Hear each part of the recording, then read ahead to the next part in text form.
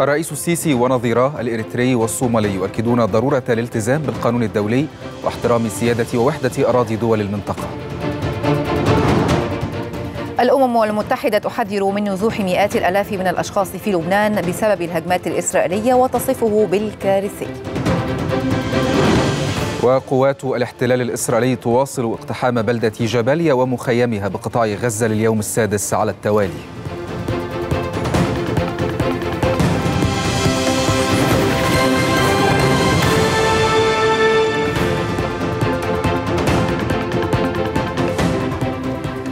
مساء الثالثة بتوقيت جرينتش نشرة إخبارية مفصلة تأتي حضراتكم من القاهرة. أهلا بكم. بدايتنا مع الزميل هشام عبد التواب. أهلا بك هشام. أهلا بك نسرين. أهلا بكم. بدايتنا من زيارة الرئيس عبد الفتاح السيسي إلى إريتريا.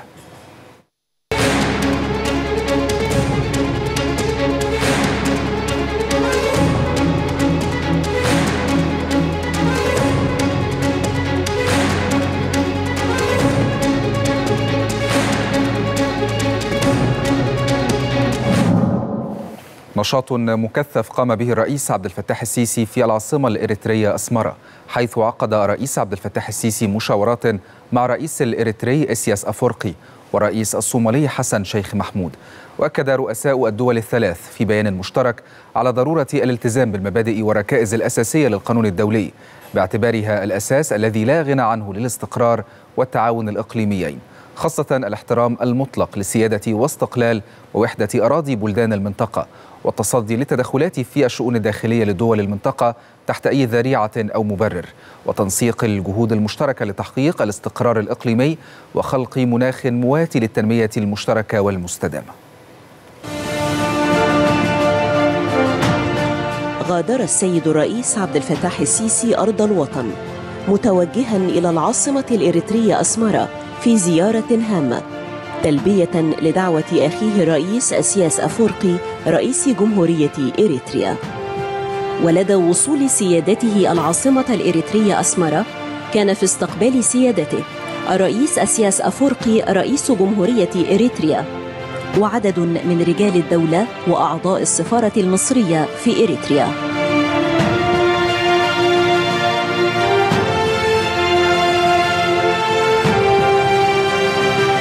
حيث عزفت الموسيقات العسكرية السلام الوطني للبلدين وتم استعراض حرس الشرف.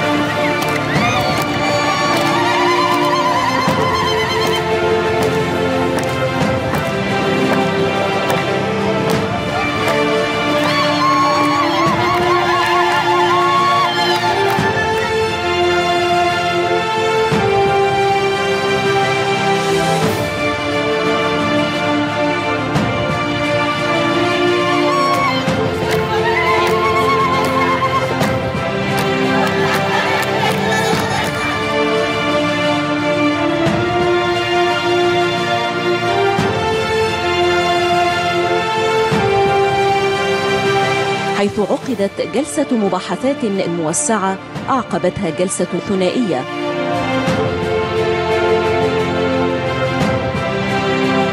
كما عقدت قمة ثلاثية ضمت الرئيس عبد الفتاح السيسي والرئيس الإريتري أسياس أفورقي والرئيس الصومالي حسن شيخ محمود رئيس الصومال.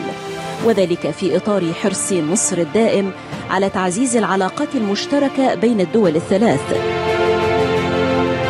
كما عقد مؤتمر صحفي لقادة القمة. تناول سبل تعزيز العلاقات في مختلف المجالات بالإضافة إلى الأوضاع الإقليمية وجهود ترسيخ الاستقرار والسلم والأمن في القرن الأفريقي. على النحو الذي يدعم عملية التنمية ويحقق صالح شعوب المنطقة. كما تم الاتفاق على إنشاء لجنة مشتركة للتعاون الاستراتيجي في كافة المجالات.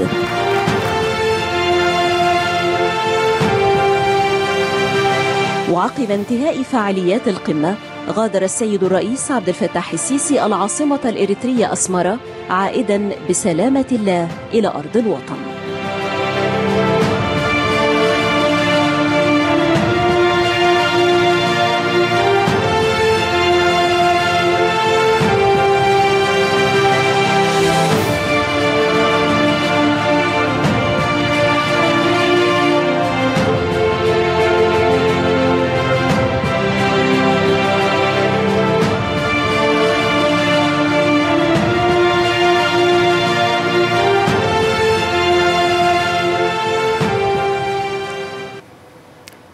كان رئيس السيسي قد أكد في مؤتمر صحفي مشترك مع نظيريه الإريتري والصومالي أن الاجتماع لا يبرهن فقط على متانة وتميز العلاقات بين الدول الثلاث وإنما يعكس تنامي أهمية تطوير وتعزيز تلك العلاقات الأزلية. إن اجتماعنا اليوم لا يبرهن فقط على متانة وتميز العلاقات بين دولنا الثلاث الشقيقة وإنما يعكس تنامي أهمية تطوير وتعزيز تلك العلاقات الأزلية سواء في مواجهة تحديات مشتركة في كل من القرن الإفريقي والبحر الأحمر أو للاستفادة من القدرات المتوفرة لدى دولنا لتعظيم فرص تحقيق التنمية والازدهار لشعوبنا. لقد اجتمعنا اليوم في ضيافة فخامة الرئيس والأخ العزيز إسياس أفرقي للتشاور والاستفادة من تبادل الرؤى إذا سبل التصدي لمخططات وتحركات تستهدف زعزعة الاستقرار وتفكيك دول المنطقة وتقويض الجهود الدؤوبة لدولنا وشعوبنا التواقة للسلام والاستقرار والرخاء. فدولنا الثلاث ومنطقتنا وشواطئنا على المدخلين الجنوبي والشمالي للبحر الأحمر تذخر بالثروات وبالفرص الواعدة للتنمية والازدهار. كما أننا نمتلك الإرادة والقدرة على اغتنام وتعظيم الاستفادة من تلك الفرص من خلال التعاون والتكامل والتنسيق الوثيق بيننا. وأشار رئيس عبد الفتاح السيسي إلى أن قمة أسمرة شهدت توافقا على تقديم كافة أشكال الدعم للصومال الشقيق. لقد اتفقنا خلال مباحثاتنا اليوم على تقديم كافة أشكال الدعم للصومال الشقيق. تحقيقا لرؤية فخامة الرئيس والأخ العزيز حسن شيخ محمود من أجل استعادة الأمن والأمان في الصومال بواسطة جيشه الوطني. وقد تناولنا مقترحات عملية لتقديم هذا الدعم ثنائيا وبصورة مشتركة فضلا عن دعم الجهود الإقليمية والدولية لحفظ وبناء السلام في الصومال. تطرقنا كذلك في مباحثاتنا إلى عدد من الملفات الإقليمية المهمة في المنطقة. ومنها الأوضاع في السودان الشقيق حيث اتفقنا على أهمية التوصل لوقف دائم لإطلاق النار في كافة أنحائه في أقرب وقت ممكن وضرورة العمل على الحفاظ على مؤسساته الوطنية. أعلن الدكتور خالد عبد الغفار نائب رئيس الوزراء وزير الصحة والسكان تقديم 112 مليون و685 ألفا و383 خدمة طبية من خلال حملة 100 يوم صحة منذ إطلاق رئيس الوزراء للنسخة الثانية من الحملة في الحادي والثلاثين من يوليو الماضي وحتى يوم الخميس. يأتي ذلك في إطار مبادرة رئيس عبد الفتاح السيسي بداية جديدة لبناء الإنسان.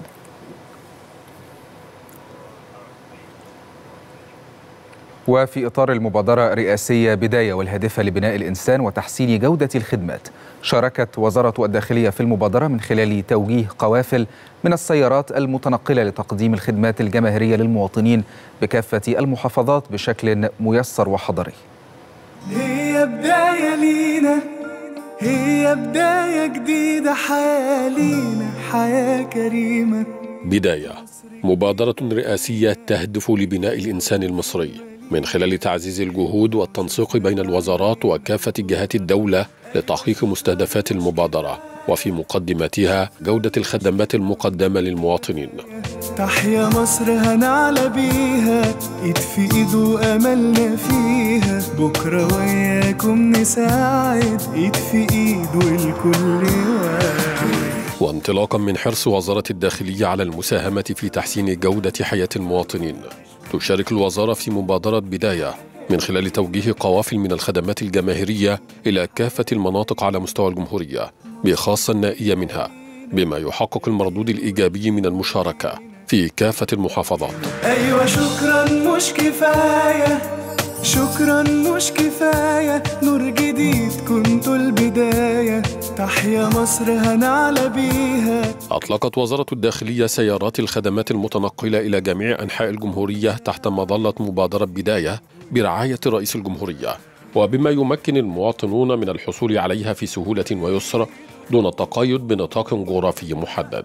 نشكر سيادة الرئيس على آه، ب- بحمله بداية جديدة للإنسان اللي هو حاطط لنا عربيات إلكترونية متنقلة في كل الميادين وفي كل المولات اللي هي بتسهل علينا كلنا استخراج أوراقنا الرسمية. أنجزت معايا وقت بصراحة إنها جنب شغلي على طول فأنا يا دوب خمس دقايق بس فأنا شايفة إنها مفيدة جدا جدا. كنتش متخيل إن أنا أجي أرخص العربية وأفحص كل ده في 10 دقايق الرخصة طلعت لي. هي بداية لينا هي بداية جديدة حياة لينا حياة كريمة. مصر جديدة بينا أجيال والخير مالينا العربيات منتشرة في كل حتة وبنشكر سياده الرئيس على الحملة الجميلة دي وان شاء الله تكون بداية جميلة لكل حاجة. أيوة شكرا مش كفاية شكرا مش كفاية نور جديد كنتوا البداية. تحيا مصر هنعلى بيها. إشادة كبيرة من المواطنين بجودة الخدمات الجماهيرية التي تقدم من خلال مبادرة بداية والتي تعد نقطة مضيئة وعلامة فارقة لإحداث تغيير جوهري في بناء الإنسان المصري صحيا واجتماعيا وتعليميا. وتوفير الخدمات اللائقة له بشكل ميسر وحضاري. بوجه الشكر لحملة بداية تحت رعاية رئيس الجمهورية عبد الفتاح السيسي إنها قربت من بيوتنا وقربت لنا الخدمات كلها وسهلت علينا حاجات كتيرة جدا. بشكر سيادة الرئيس على الحملة الجميلة وعلى وزارة الداخلية والدور اللي بتأديه. دايما كده سند للمواطنين وسند لمصر. والحمد لله لقينا خدمات جميلة ومتوفرة وسهلة وسلسة. حققت الحلم في عنا رسمت طريق. حقيقة هي بداية لينا هي بداية جديدة حياة لينا حياة كريمة. مصر جديدة بينا أجيال والخير مالينا. حلم أنا شايفة إن مبادره البداية حاجة جميلة جدا. وإن هي بتساعدنا طبعا إن إحنا نخلص أوراقنا بسرعة ونخلص حاجاتنا بسرعة. وكويس إن هي بتكون في الشارع عشان أي حد يقدر يوصل لها. مساهمة وزارة الداخلية في مبادرة بداية جديدة لبناء الإنسان المصري. تنبع من الدور الإنساني والاجتماعي الذي تنتهجه الوزارة وتكامله مع جهود الدولة لتحقيق حياة كريمة لكافة المواطنين. بكرة وياكم نساعد إيد في إيد والكل واحد استعرض وزير قطاع الأعمال العام محمد دشيمي مؤشرات الأداء الشهرية للشركة القابضة للصناعات الكيماوية وشركاتها التابعة. وكذلك مستجدات تنفيذ خطة العمل وتطور الأعمال في مختلف المشروعات. كما ناقش موقف استغلال الأصول والفرص المتاحة للاستثمار. وكذا وزير قطاع الأعمال العام ضرورة تعزيز التكامل فيما بين الشركات والاستفادة من الإمكانات والقدرات المتاحة لدى كل منها بما يسهم في تحسين معدلات الأداء والتشغيل ودعم الصناعة الوطنية مع العمل بالطاقات القصوى وزيادة الإنتاج وتسريع وتيرة العمل بالمشروعات.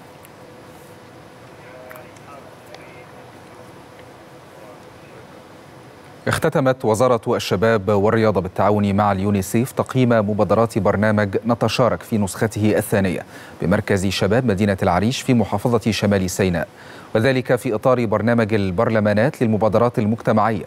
واستعرض المشاركون في برنامج نتشارك أمام لجنة التقييم 16 مبادرة تم تنفيذها داخل ثمانية مراكز شباب على مستوى المحافظة. من جانبه ثمن الدكتور أشرف صبحي وزير الشباب والرياضة مشاركة نحو 7500 مشارك من أبناء شمال سيناء في المبادرات الشبابية. والتي تعتبر قيمة مضافة حقيقية ونافذة هامة أكثر استدامة وتقدما نحو خلق مبادرات تنموية توعوية تعكس الإيمان بالقدرات الإبداعية للشباب في الجمهورية الجديدة. هذا عقد المهندس كريم بدوي وزير البترول اجتماعا موسعا بمقر الوزارة لاستعراض مستجدات التسويق للفرص الاستثمارية وجذب الاستثمار في مجال الاستكشاف والإنتاج للبترول والغاز الذي تقوم به بوابة مصر الرقمية للاستكشاف والإنتاج. جاء الاجتماع في ضوء الرؤيه الجديدة لجذب الاستثمار التي تبنتها الوزارة بعد تشكيل الحكومة الحالية علاوة على متابعة جهود تطوير دور البوابة. وأكد المهندس كريم بدوي وزير البترول أهمية دور بوابة مصر الرقمية للاستكشاف والإنتاج كمحرك ومفتاح رئيسي لجذب الاستثمار إلى قطاع البترول لإطلاق واستغلال موارد مصر البترولية لسد احتياجات البلاد.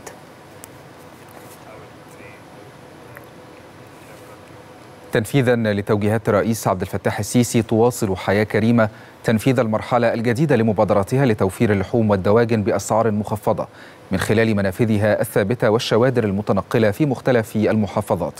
موضحة أن ذلك يأتي في إطار سعي المؤسسة لتقديم حلول عملية ومستدامة لدعم الفئات المتوسطة والأكثر احتياجاً. هذا وشهدت المبادرة إقبالا كبيرا من المواطنين على جميع منافذ حياة كريمة بأنحاء الجمهورية وسط إشادة كبيرة من جميع المواطنين بجودة أنواع اللحوم والدواجن. كما تعمل المبادرة على دعم الإنتاج المحلي حيث تسهم في دعم المزارعين المحليين وتشجيعهم على زيادة الإنتاج.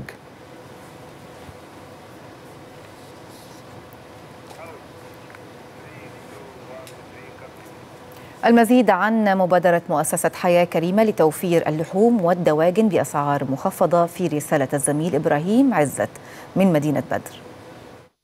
مشاهدينا الكرام مساء الخير واهلا وسهلا بحضراتكم ما زلنا اذا نتابع مع حضراتكم أصداء هذه المبادرة التي أطلقتها مؤسسة حياة كريمة لتوفير اللحوم بأسعار تنافسية وأقل بكثير عن الأسعار المتواجدة في الأسواق أو في الخارج بصورة عامة. نحن هنا نتحدث إلى حضراتكم من مدينة بدر إحدى المدن الجديدة بعض الشيء بالتأكيد وكانت مؤسسة حياة كريمة حريصة أنها تصل للسكان في هذه المجمعات السكانية والمجتمعات العمرانية الجديدة ضمن هذه المبادرة الكبرى في المحافظات للتسهيل والتيسير على المواطنين في شراء اللحوم بأسعار تنافسية وأقل عن الخارج. في هذه المقابلة سنتحدث مع حضراتكم حول تفاصيل أكثر حول مبادرة حياة كريمة لتوفير اللحوم ولكن أرحب بضيفتي الكريمة الأستاذة كريمة إبراهيم مسؤول التنظيم وأيضا مسؤول استلام سيارات اللحوم هنا في مدينة بدر. مساء الخير فندم واهلا بك. مساء النور أهلا بحضرتك. أهلا بحضرتك. لو اتكلمنا بصورة عامة يعني كنا متعودين ننزل مع حضراتكم في عدد كبير من المحافظات في الميادين الرئيسية الأماكن اللي بتشهد كثافة سكانية ولكن اليوم جينا للمجتمعات العمرانية الجديدة مدينة بدر لماذا مدينة بدر وحرص حضراتكم كمؤسسة حياة كريمة إنكم توصلوا لهؤلاء تحديدا في المدن الجديدة اولا يعني إحنا بنشكر مؤسسة حياة كريمة للخدمات اللي هي بتعملها والخدمات الكتير والمبادرات. طبعا إحنا بالنسبة لنا هنا كمجتمعات عمرانية مش دايما بيبقى في مبادرات دايما بيبقى في الأسعار هنا بتبقى غالية جدا عن أي مكان تاني. الرقابة هنا جشع التجار بيبقى يعني كتير جدا وجامد جدا عن أي مكان. النهارده الناس مبسوطة جدا من المبادرة. إحنا من امبارح وإحنا موجودين وكثفنا كمان العربيات النهارده وده من من خلال طبعا طلب الموجودين السكان اللي معانا هم كانوا كلهم مبسوطين بالمبادرة وشايفين الأسعار 50% أقل طبعا من بره. فدي حاجة كويسة جدا جدا. وبالنسبة للمجتمعات العمرانيه طبعا هي جديد بالنسبة لها حاجة زي كده. فطبعا كان في ناس كتير قوي كانت أول مرة تسمع إن في حياة كريمة حاولنا إن إحنا ننزل على الأرض أكتر بشكل أكبر. والحمد لله نجحنا في ده. والحمد لله في ناس كتير كان في إقبال كبير جدا. والنهاردة يعني زي ما حضراتكم شفتوا إحنا ما كملناش نص ساعة. وكانت العربية خلصت وبيسألوا تاني على عربيات تانية ومش بس كده كانوا بيسألوا كمان على آه، دواجن وعلى آه، لحوم آه، مفرومة وعلى حاجات كتير جدا السؤال هنا في حالة نفاذ الكميات من قبل المواطنين هل بيكون في خطة من المؤسسة للدفع بلحوم أخرى بعربيات أخرى في هذه المناطق ولا بتتصرفوا إزاي بسرعة؟ آه، أكيد طبعا وإحنا حاليا منتظرين آه، عربية حاليا جاية في الطريق وفي ناس كتير منتظرة ومستنيين دوت وإحنا إن شاء الله بإذن الله الفترة الجاية هنغطي عدد أكبر من كده بكتير والسكان هنا هتبقى مبسوطة بحاجة زي كده ومجتمعات عمرانية كلها إن شاء الله هيبقى وصل لها كل الدعم من الرئيس آه، إن شاء الله بإذن الله والناس هنا هتبقى يعني هنحاول على قد ما نقدر آه، استغلال التجار آه، إن إحنا نحاول إن إحنا يعني نعمل المبادرات هنا أكتر و, و, ده, يخلينا بقى نسأل حضرتك فيما يخص تفاعل المواطنين مع حضراتكم. إزاي بترصدوا ردود أفعالهم آه، تجاه مبادرة مؤسسة حياة كريمة لتوفير اللحوم هنا في مدينة بدر؟ آه، أنا عايزة أقول لحضرتك إن الناس بقت تيجي آه، بقت حتى تتواصل معانا بشكل مباشر جدا. بقت تسأل دايما عن العربيات وتسأل عن أي مبادرة هتنزل. بقى في متابعة كبيرة جدا غير الأول خالص. يعني الأول ما كانش فيه حاجة ما كانش فيه حاجة على الأرض. ما كانش فيه مبادرات نزلت كتير بالنسبة ليهم. ما كانتش مسموعة قوي بالنسبة لموضوع اللحمة لا بالنسبة ليها آه، آه، إن يبقى في فرق 50% عن سعرها بره ده فرق كبير جدا جدا. إحنا طبعا بنشكر سيادة الرئيس على المبادرة الجميلة دي وبنتمنى إنها تستمر ويبقى في مستمرات آه، مبادرات أكتر بإذن الله للسكان هنا يستفيدوا بيها إن شاء الله. كل تحية وتقدير لحضراتكم إن شاء الله في خلال الفترة اللي جاية. بشكرك يا فندم. شكرا جزيلا. شكرا شكرا لحضرتك. متشكرة جدا. فصل قصير مشاهدينا نعود من بعد لاستكمال باقي هذه النشرة.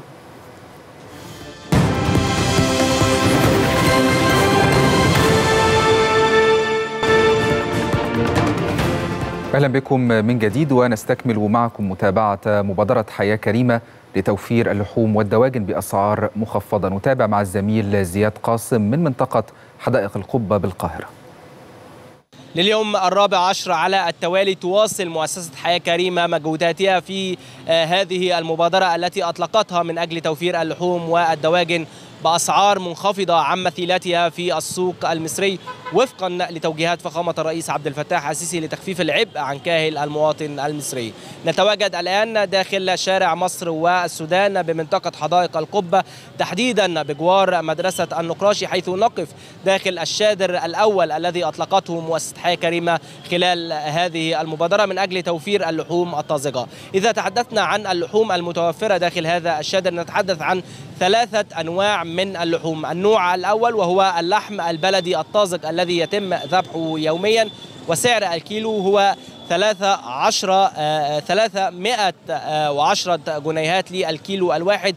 النوع الثاني وهو البلدي المجمد وسعر الكيلو هو 210 جنيهات. النوع الثالث وهو آه، المستورد وسعر الكيلو هو 185 آه، جنيها. أيضا إذا تحدثنا عن جودة هذه اللحوم فأكدوا المسؤولين هنا آه، داخل آه، مؤسسة حياة كريمة هنا بمنطقة حدائق القبة على جودة هذه اللحوم وأن جميع اللحوم المتوفرة بجميع المنافذ المختلفة آه، سواء داخل محافظة القاهرة أو مختلف المحافظات تخضع لرقابة بيطرية دقيقة من أجل التأكد من سلامة هذه اللحوم التي يقوم المواطن المصري بشرائها. أيضا إذا تحدثنا عن النقاط المختلفة داخل محافظات آه، القاهرة داخل محافظة القاهرة ومختلف المحافظات. نتحدث اليوم عن شادر ثابت داخل محافظة داخل حي حدائق القبة. نتحدث عن أربع نقاط بيع مختلفة داخل محافظة القاهرة بمنطقة السيدة عائشة ومدينة بدر.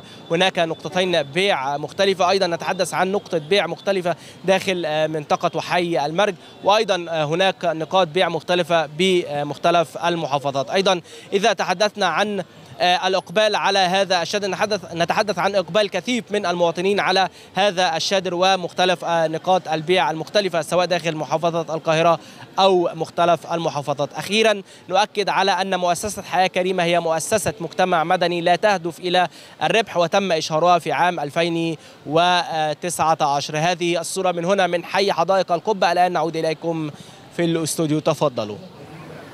ومن حدائق الأهرام بالجيزة وفتنا الزميلة أميرة أمر بالرسالة التالية حول إقبال الأهالي على منافذ حياة كريمة لتوفير اللحوم بأسعار مخفضة. من داخل محافظة الجيزة وبالتحديد من داخل حي حدائق الأهرام وبالتحديد أكثر من عند البوابة الأولى البوابة الرئيسية للمنطقة بوابة التجنيد التواجد حيث مبادرة حياة كريمة لتوفير اللحوم والدواجن بأقل سعر وأعلى جودة كل ذلك بالتعاون مع شركة القيصر. وللحديث أكثر حول مميزات المبادرة حجم الإقبال نقاط التواجد داخل محافظة الجيزة. ينضم إلينا الدكتور مصطفى عبد المجيد نائب منسق عام محافظة الجيزة بمؤسسة حياة كريمة. دكتور مصطفى بعد التحية. نتحدث عن مبادرة هي الأولى من نوعها. بنوفر لحوم يصل سعر الكيلو فيها ل 310 جنيهات فقط بينما أو بفارق كبير عن سعر الأسواق.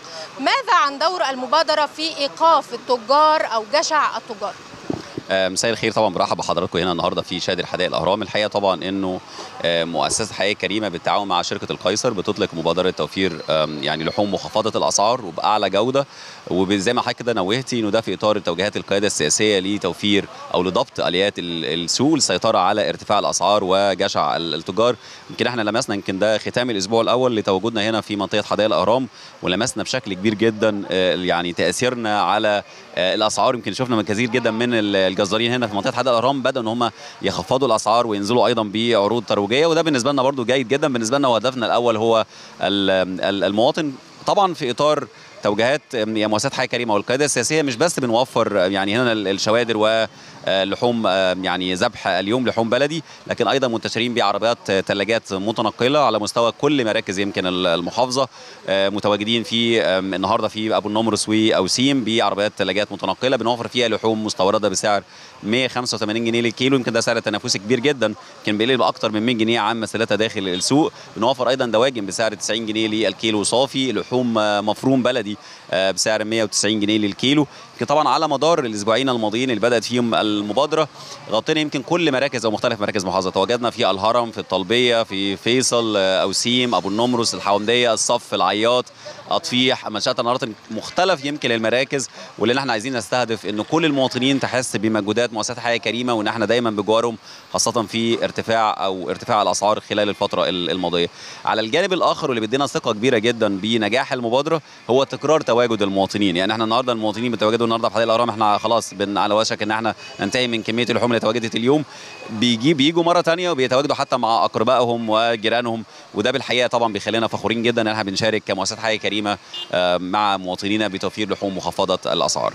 دكتور مصطفى يعني تاكيدا على كلامك المبادرة بتوفر مختلف أنواع اللحوم بلدي مستورد مجمد دواجن إقبال كبير من قبل المواطنين تواجد في مختلف نقاط محافظة الجيزة.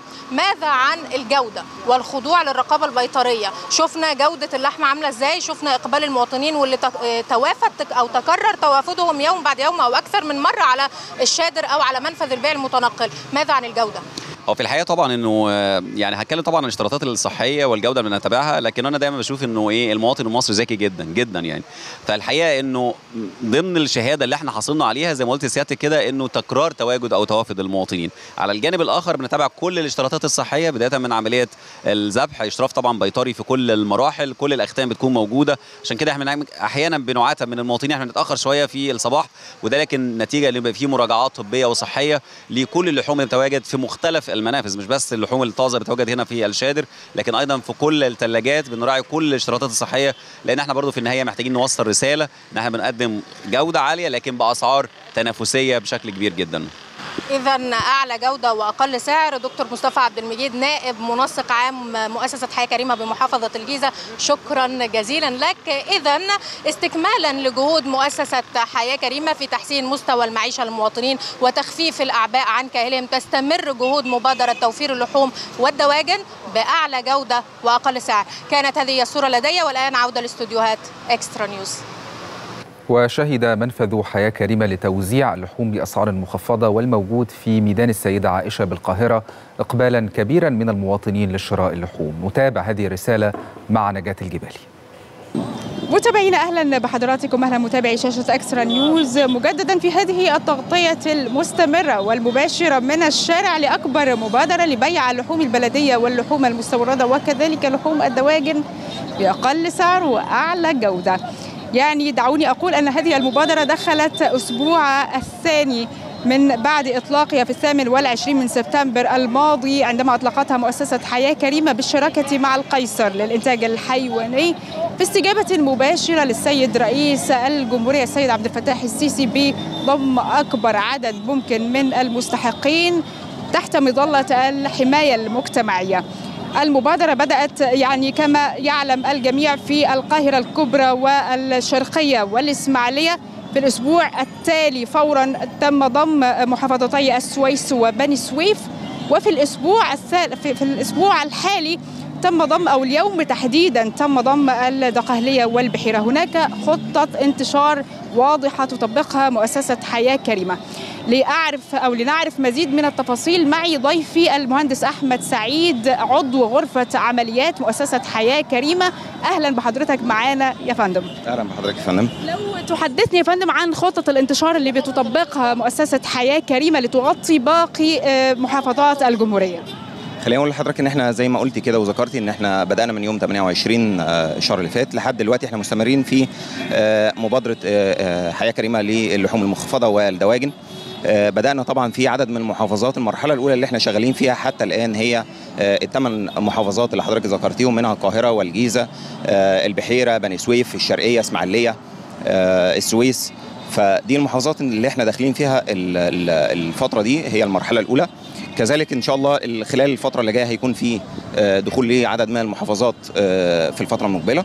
آه، بنتكلم على إن المنافذ بتاعتنا في منافذ اللي هي الثابتة والمنافذ المتحركة. المنافذ الثابتة وهي الشوادر وكذلك ال- اللي إحنا يعني المنافذ اللي هي ال- الكرفانات اللي هنبدأ في الانتشار بيها داخل كل المحافظات. ما المقاييس يا فندم اللي على أساسها بتقرروا نتوسع في هذه المحافظة أو نصبر شوية عليها؟ طيب خلينا نتكلم إن طبعا إحنا عندنا آه، عدد من المؤشرات منها آه، نسبة الفقر داخل المحافظات منها إن إحنا طبعا عايزين آه، نرفع العبء الاقتصادي الواقع على ال- الأسر المصرية بوجه عام. منها كذلك إن ال ال ال يعني أسعار اللحوم المتوفرة داخل المحافظات ويعني نقولها كده بالعبارة الصريحة اللي هو جشع بعض التجار في رفع الأسعار.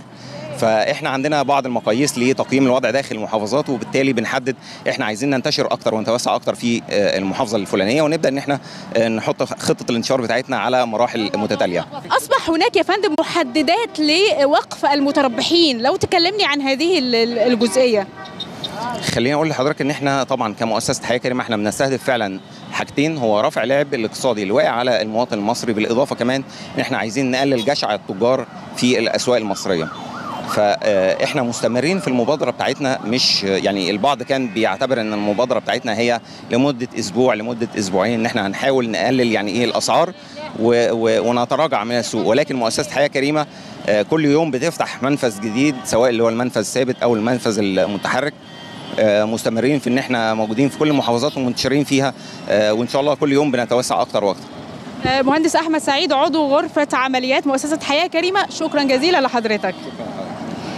وكما ذكرت لحضراتكم مسبقا تستمر مؤسسة حياة كريمة في التوسع. ومن هذا من أمام هذا المنفذ في المنطقة العريقة السيدة عائشة أختتم هذا اللقاء. ويعني آه، آه، سنرصد لحضراتكم الصورة ومشاهدها كلها أولا بأول على مدار الأيام القادمة. إليكم زملائي في الاستوديو. ومن مركز أسيم بالجيزة تابع الزميل تيموثي إيهاب حركة الإقبال على منافذ حياة كريمة لتوفير اللحوم بأسعار مخفضة.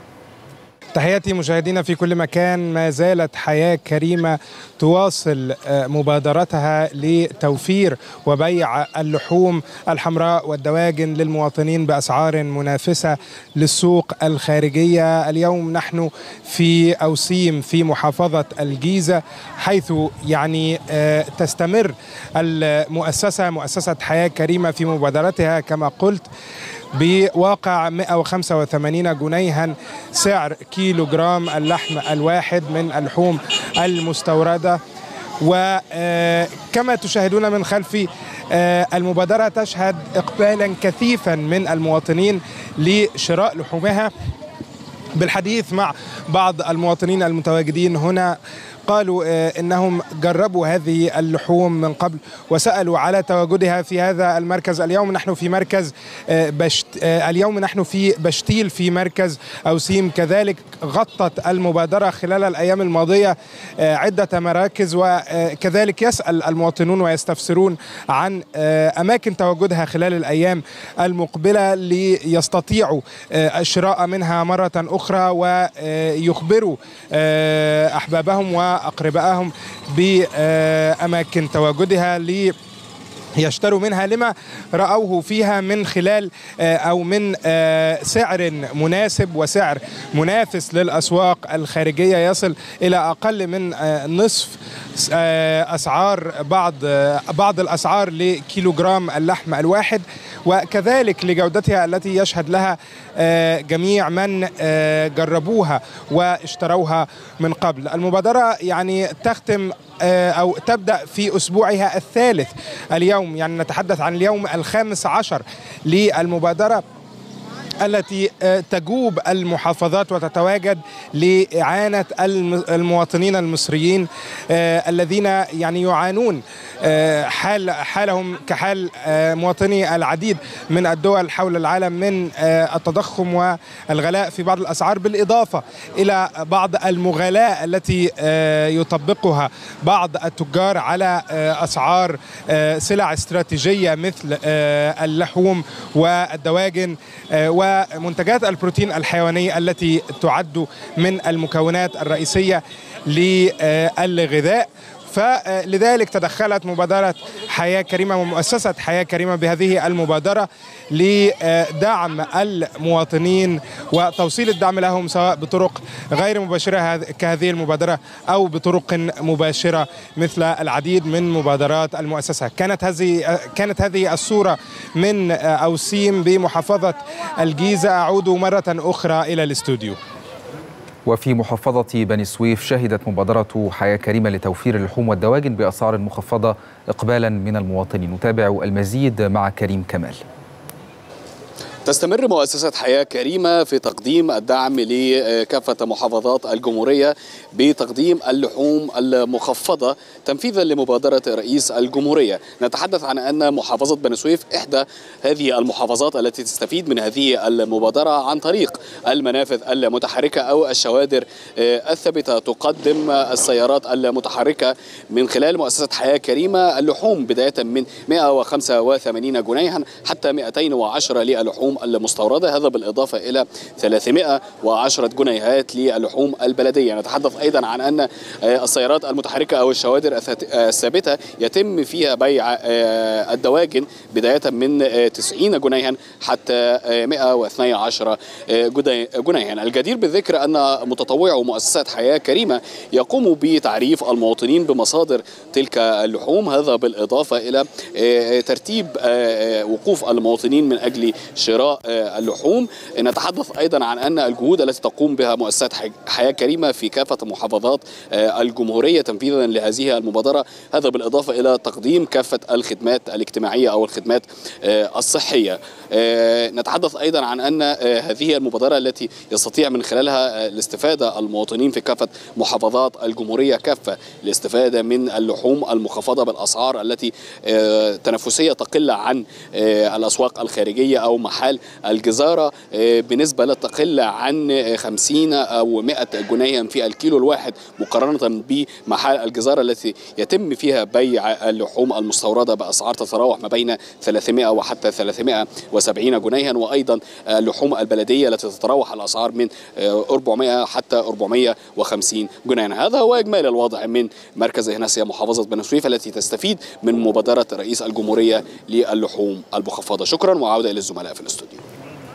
يتزايد الإقبال على منافذ مؤسسة حياة كريمة لتوفير اللحوم والدواجن بأسعار مخفضة من الدقهلية وفن الزميل أحمد نبيل بهذه الرسالة. ولتكن الصورة هي خير دليل على نجاح كبير حققته وتحققه مؤسسة حياة كريمة من خلال مبادرتها في توفير اللحوم والدواجن بأسعار مخفضة. ووفاء لوعد قطعته قبل نحو أسبوعين من الآن مع بادئ هذه المبادرة في انتشارها تدريجيا حتى تصل إلى كل مواطن من مواطني الجمهورية في كل المحافظات. فهذه المرة اتجهت من خلال منفذين متحركين يحويان هذه اللحوم والدواجن إلى قرية ميت العامل بمركز أجا داخل محافظة الدقهلية ما لاقى القبول. والرضاء التام للمواطنين المقبلين على هذه السيارات وعلى مدار ساعات ماضية وساعات قادمة وبكثافة حتى يتمكنون من شراء هذه اللحوم والدواجن. تأتي أسعار اللحوم والدواجن بأسعار مخفضة تماما عن مثيلاتها في السوق التجاري في أي مكان من أماكن محافظة الدقهلية مع جودة عالية ما جعل الغلبة والكفة إلى هذه المبادرة وبالتالي يتحقق الهدف من وراء هذه المبادرة التي تقدمها مؤسسة حياة كريمة في ضبط آليات السوق ومواجهة كجع التجار والإتاحة إلى كل المواطنين وبالتالي الاستطاعة في شراء هذه أو هذه السلع الأساسية من اللحوم والدواجن التي تأتي بأسعار تبدأ من ال 185 جنيه للمجمدة والمستوردة حتى تصل إلى ال 310 جنيهات للبلدية وسعر الدجاجة يصل إلى 90 جنيه لما تقترب من وزن كيلو و100 جرام. شهدت قرى ومراكز محافظة البحيرة إقبالا كبيرا على منافذ حياة كريمة لبيع اللحوم والدواجن بأسعار مخفضة. من البحيرة نتابع هذه الرسالة مع محمد عادل.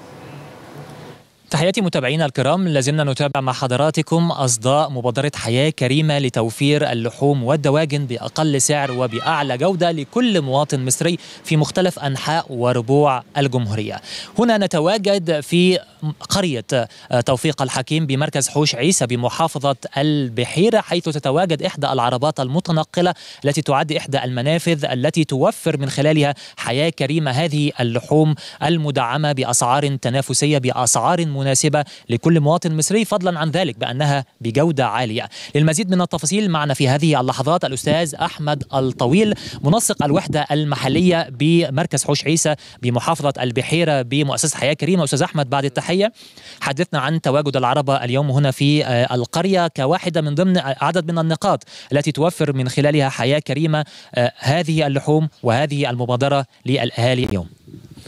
الحقيقة الحقيقة النهارده ما شاء الله يعني كان في حضور جامد جدا ووفرنا للناس كميات كبير من اللحوم كمية كبيرة من اللحوم.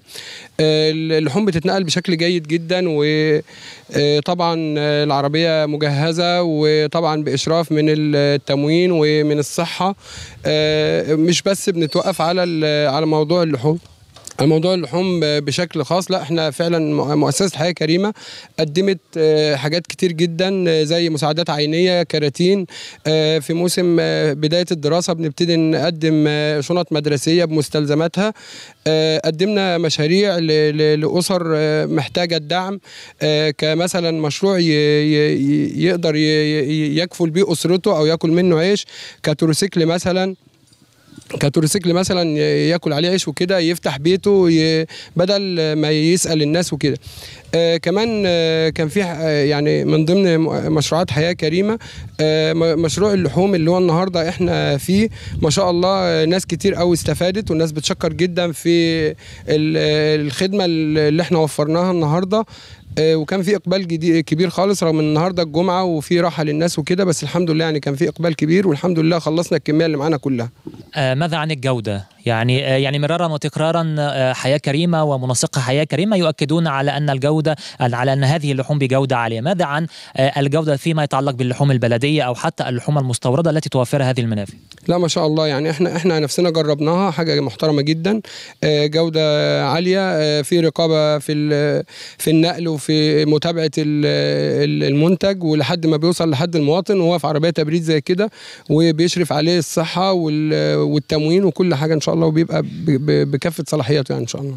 بشكرك أستاذ أحمد على هذا اللقاء. اذا متابعينا الكرام هذا كان لقاؤنا مع الأستاذ أحمد الطويل منسق وحدة محلية بمركز حوش عيسى بمحافظة البحيرة بمؤسسة حياة كريمة. وفي حقيقة الأمر الدولة لم تقف مكتوفة الأيدي. متابعينا الكرام أمام التحديات الاقتصادية الراهنة التي تواجه العالم أو التي يواجهها العالم أجمع بل تحرص الدولة بشكل مستمر على تقديم المبادرات المدعمة للمواطن المصري. من بين هذه المبادرات مبادرة مبادرة حياة كريمة لتوفير اللحوم والدواجن بأقل سعر وبأعلى جودة والعمل على تحسين مستوى معيشته. وبكل تأكيد توفير السلع الغذائية عنصر هام من ضمن هذه العوامل التي تحرص الدولة على تحرص الدولة عليها والعمل على تحسين مستوى معيشة المواطن من أجل توفير له حياة كريمة بمعناها الحرفي شكلا ومضمونا. هذه هي مجمل الصورة من هنا. من قرية توفيق الحكيم بمركز حوش عيسى بمحافظة البحيرة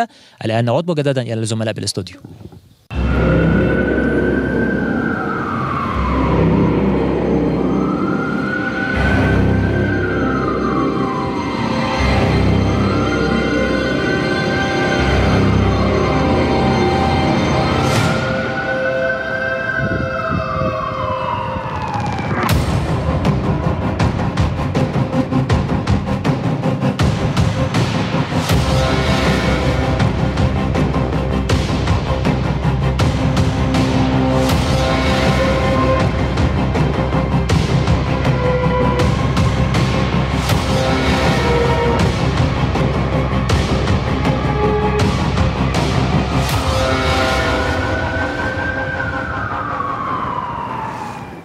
رئيس الوزراء اللبناني نجيب ميقاتي الأمم المتحدة بإصدار قرار وقف إطلاق نار فوري في لبنان مشيرا إلى أنه تم توجيه وزارة الخارجية بتقديم طلب إلى مجلس الأمن الدولي تدعوه فيه لاتخاذ قرار لوقف تام وفوري لإطلاق النار مشددا على التزام الحكومة اللبنانية بتنفيذ القرار 1701 والصادر عن مجلس الأمن لا سيما بشقه المتعلق بنشر الجيش في جنوب لبنان وتعزيز حضوره على الحدود اللبنانية.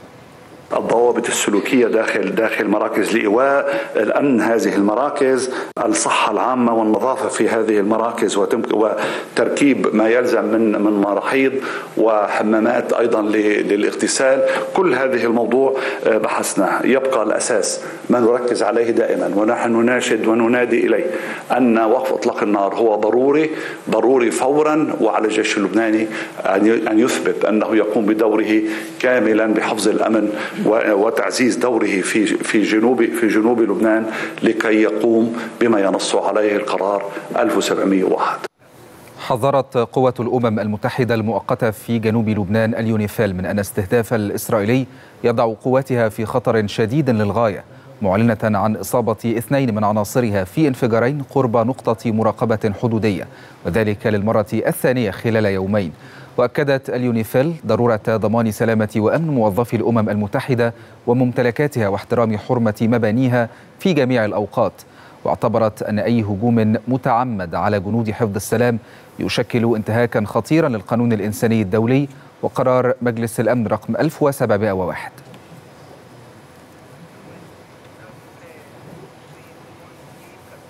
أعلنت وزارة الخارجية الفرنسية أنها استدعت سفير إسرائيل في باريس بعد هجوم جديد للجيش الإسرائيلي على قوة الأمم المتحدة المؤقتة في لبنان اليونيفيل. علما بأن فرنسا مشارك رئيسي فيها.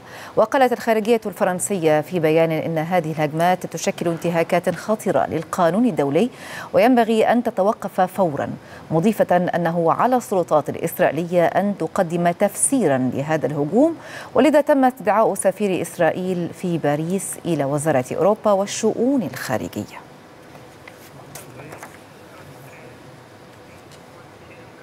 حذر مسؤول في المنظمة الدولية للهجرة التابعة للأمم المتحدة من أن نزوح مئات الآلاف من الأشخاص في لبنان كارثي مشيرا إلى أن الدعم الدولي لا يتناسب مع الاحتياجات وسط قصف إسرائيلي يومي منذ أكثر من أسبوعين. وقال المدير الإقليمي للشرق الأوسط وشمال إفريقيا في المنطقة إنه مع هذه الموجة من النزوح في لبنان فإن المنظمة ترى أن الوضع كارثي في ظل الاحتياجات الضخمة والدعم الضئيل المقدم الذي لا يتناسب مع الاحتياجات.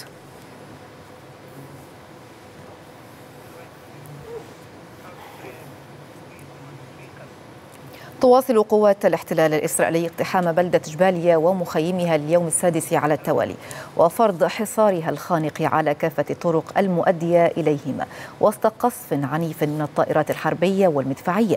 هذا وقالت وكالة الأنباء الفلسطينية إن الأوضاع الإنسانية في مخيم جباليا تزداد خطورة مع مرور الوقت مع منع إدخال إمدادات الغذاء والدواء والمياه للمواطنين وصعوبة دخول طواقم الإسعاف لانتشال جثامين الشهداء ونقل الجرحى. وفي السادس من أكتوبر الجاري أعلن جيش الاحتلال بدء عملية عسكرية في جباليا بعد ساعات من بدء هجوم شرس على المناطق الشرقية والغربية لشمال القطاع هي الأعنف منذ مايو الماضي.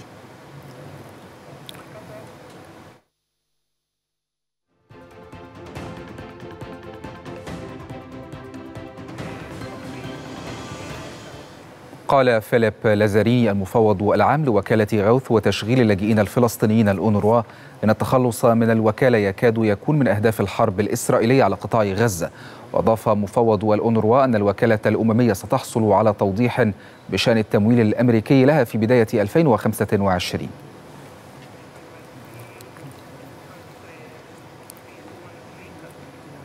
أعلنت الأمم المتحدة أن حملة التطعيم الجديدة ضد شلل الأطفال في قطاع غزة والتي من المقرر أن تبدأ الاثنين المقبل ستكون أكثر تعقيدا بسبب استمرار العدوان الإسرائيلي على قطاع غزة. وقال ممثل منظمة الصحة العالمية في الأراضي الفلسطينية المحتلة إن لديهم أملا في أن تمضي حملة التطعيم قدما وأن تتمكن الفرق الطبية من تطعيم ما لا يقل عن 90% من الأطفال الذي يبلغون أقل من عشر سنوات بين سكان الشمال.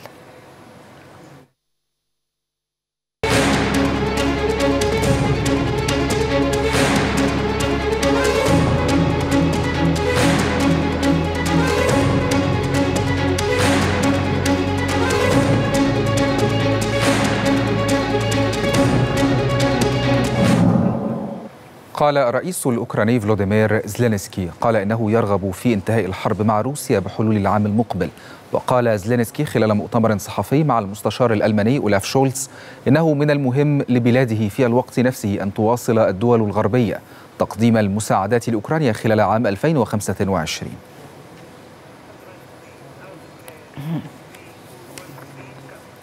أعلنت السلطات الأمريكية ارتفاع أعداد ضحايا الإعصار ميلتون الذي ضرب ولاية فلوريدا إلى 14 حالة وفاة فضلا عن حدوث دمار هائل في المنشآت والمنازل والغاء آلاف الرحلات الجوية في الولاية. وذكرت السلطات أن الإعصار دمر أسقف المنشآت والمباني كما غمر الطرق في مساحات واسعة من الولاية فيما بات نحو ثلاثة ملايين شخص بدون كهرباء.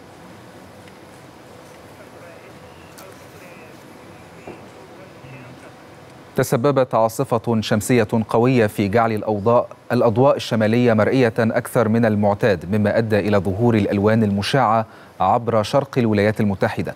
وتم التقاط الأضواء الشمالية فوق سماء الليل في بورتلاند بولاية مين.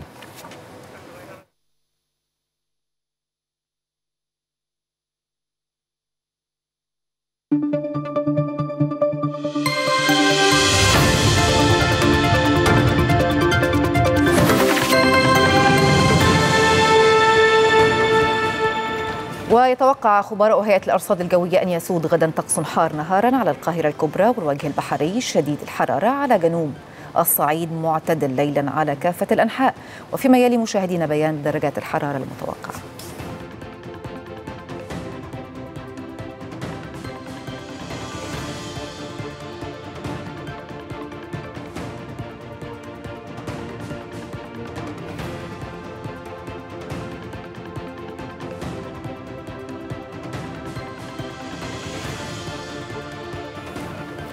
وبأخبار الطقس مشاهدينا الكرام نكون وصلنا لختام هذه النشرة وإلى عناوينها.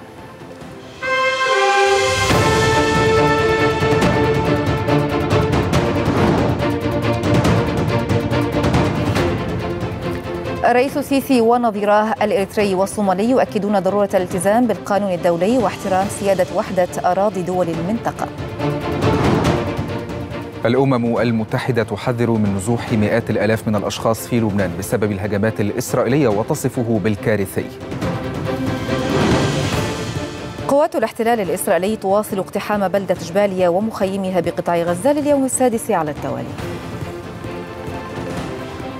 ولمزيد من الأخبار يمكنكم تحميل تطبيق إكسترا نيوز من خلال أبل store أو جوجل بلاي أو من خلال ال QR code الظاهر أمام حضراتكم على الشاشة. شكرا جزيلا لكم على طيب المتابعة. كنا معكم في هذه النشرة الزميلة نسرين فؤاد وأنا هشام عبد التواب. إلى اللقاء.